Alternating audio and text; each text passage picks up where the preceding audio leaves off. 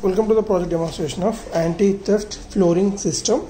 Means uh, whenever a person trying to access the door, then uh, we are going to provide OTP based access system. For that purpose, we are using two major modules. One is uh, HC05 Bluetooth module to read the OTP password from the mobile phone application and GSM module to send the OTP to the registered phone numbers. So here we are demonstrating with one phone number in real time we can store the n number of phone numbers as the family phone numbers into this Arduino Uno board. So here we are using this flooring system. So whenever a person trying to access the door then he will stand in front of the door. Then the system will detect the person standing on this floor and the system will send the OTP to the registered phone number and uh, we need to enter the same OTP from your Bluetooth mobile phone application which will provide that. And uh, when the password matches with the OTP uh, which you enter from this one uh, a Bluetooth application then system will unlock the door. With help of this electromagnetic uh, door locking system using this electromagnetic relay. So here the major components we are providing 12 volts 1 amp power supply from this adapter to this Arduino Uno board. Then uh, we have interfaced the GSM module to send the OTP whenever the flooring uh, system detect the person and this one is a Bluetooth module uh, it's a 05 and LCD display to display the status uh, while we are execution of the project and this electromagnetic online lock and this one is the electromagnetic relay. So these are the major components in our project. So we have interfaced the GSM module at pin number 8 and 9 pin number 2 to 7 for the LCD screen 0 and 1 for this HC05 Bluetooth module pin number 10 for this relay to control the electromagnetic relay. So let us see demonstration. So before demonstration first of all we need to install a serial Bluetooth terminal application from the Play Store.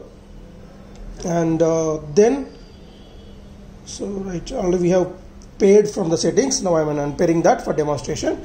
So now after installing the application the next step is we need to insert a valid sim card into the gsm module. As is shown here so push and backward you can uh, open this door place the sim card. The notch should be this side and it should be in this manner only. If you have the sim with the bigger adapter directly insert into this. And after that gently close this and lock. So this particular sim card should have sms balance or main balance. And we should use uh, airtel vi or bsnl other than the uh, Jio SIM card because Jio SIM card uh, won't uh, work as the 4G or 3G uh, so it is a LTE SIM card. And you don't get the signal here. Now on the power supply to this adapter. So once we on the power supply first of all first step wait till this particular blue LED blinks slowly so initially it blinks very fast. Right now it is slow down. That is indication of card got the signal. So if doesn't get any uh, slow blinking rate after time being then check the sim card position. This is very very important after we switch on the kit then after go to bluetooth settings of your phone bluetooth settings directly and search for a new module and uh, there we get the hc05 so we should pair from the settings initially means it should be there in our history. Next time onwards directly you can go to the application only. Like 1 2 3 4 is the initial password. Right. So it is there in our history. Next time directly you can go to this application and go to options. And here devices hc05 so connecting right is connected. So after connecting from this application we can see the bluetooth blinking auto also slow down right after these settings now we can execute the project next step. So whenever the person is standing on this platform you can see sending OTP to the registered phone number I will get the OTP into my number. Right so I got the please enter OTP 2809 so now I can enter the 2809 OTP so the timer also is running. So we kept the timer for 60 seconds. In real time we can go with the 40 for uh, 30 seconds. As of now to send the sms sometimes it will take 10 seconds sometimes it will take 2 seconds. That's why we kept the duration of 60 seconds. So in the 60 seconds before the 60 seconds completion we should enter the otp otherwise it will entering into the locked mode directly. Then it won't get uh, message read anytime. Now just i'm sending the otp now here. After otp sent unlocked and we can see that it was unlocked.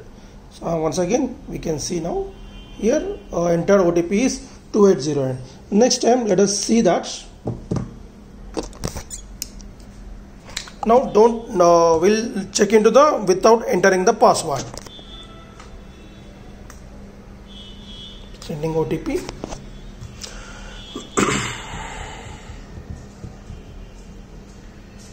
so we got the OTP now I'm not going to enter any OTP so if I enter the wrong OTP also say I'm entering the wrong OTP so OTP wrong.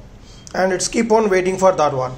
So if uh, 60 seconds time duration completed then it will enter into the locked mode and it won't read this uh, flooring also and it won't read the password from the Bluetooth and it won't send an SMS only it will send the final message of alert intruder detected. So that's the message we are going to receive at the final.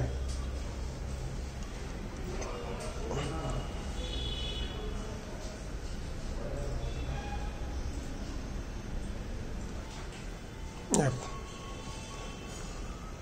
so it tossed alerts now it is sending the message to the registered phone numbers as indication of right now it is logged. So we have received the message of intruder alert message. So we have received this message. Intruder system logged. So now it won't read anything. See it was logged. Again in order to unlock that just reset the system. So this is a reset system. Arduino Uno so now it is again monitoring and reading the OTP and done